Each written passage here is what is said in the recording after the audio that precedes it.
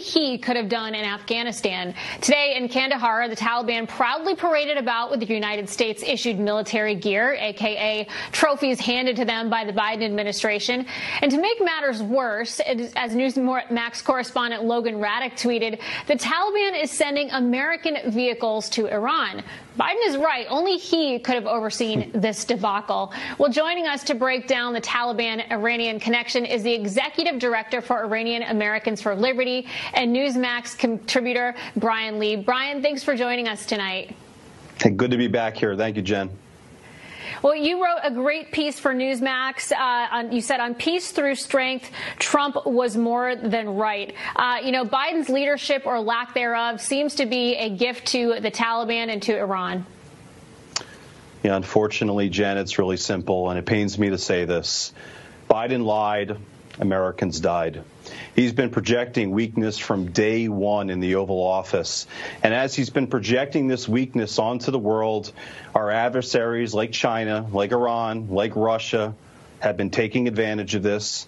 And the terrorists that uh, the Islamic Republic of Iran funds all throughout the world, from Hamas to Hezbollah to Leb- uh, in, in, Lebanon, uh, they are licking their chops at how weak our president is. And unfortunately, now we're seeing Americans that are dead because of, again, weakness coming from this president. And you know, Bryan, I think that unfortunately Joe Biden did a couple of huge favors for Tehran and for the mullahs in Iran. Number one, because of his war on American energy, we have uh, oil prices which are sky high all over the world. That's great news for Tehran. It's great news for Moscow. It's great news for a lot of places, but not for American consumers. But then, secondly, of course, this issue of leaving all this material, this military material in Afghanistan, some of which, as you point out, is making its way now to Iran. Here's my simple question regarding that equipment. I do understand that some of it would have been difficult and very costly to get out of there, right? And a lot of it's very old because we've been there for 20 years, so it probably isn't worth the cost of airlifting and transporting all the way back to the United States.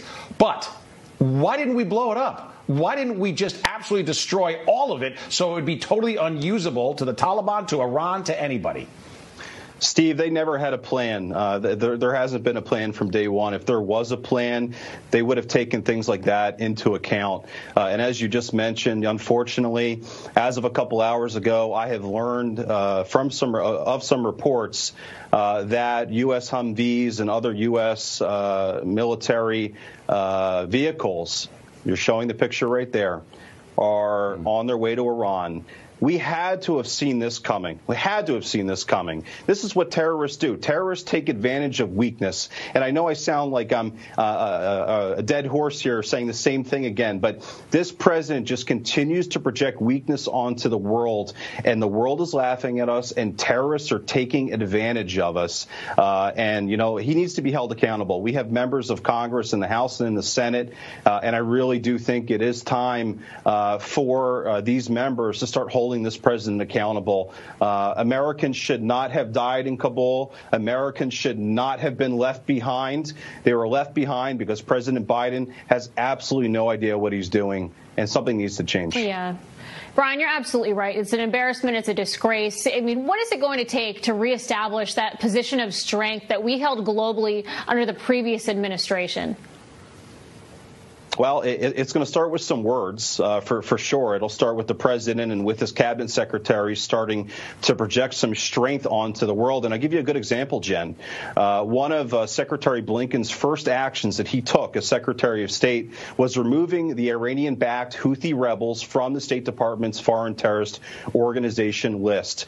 Since then, the Houthi rebels have been attacking our allies in the region for months. And what does Secretary Blinken do? He sends sends out a tweet. I think I counted earlier. He's tweeted now 15 times condemning the Houthi rebels.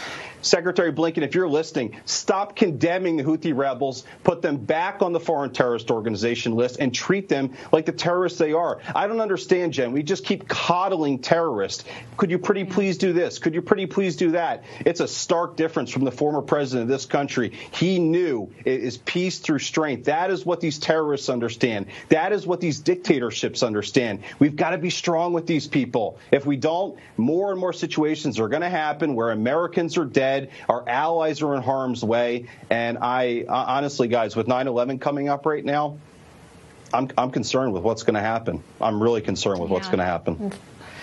Fortunately, I am too. Thank you so much, Bryan Leib, for joining us. Thank you, Jenn. Thank you, Steve.